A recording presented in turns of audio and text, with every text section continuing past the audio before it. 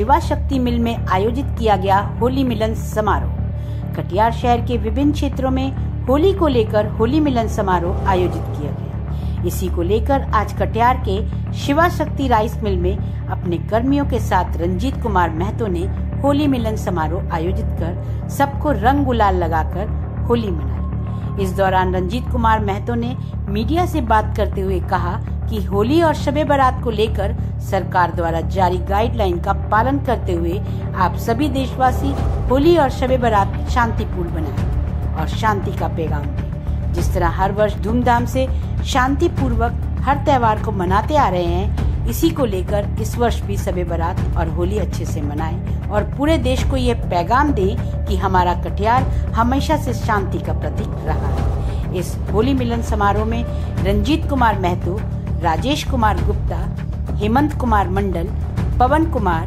सूरज सिंह, राधा मोहन राय, ज्योति शंकर कुमार मौजूद रहे।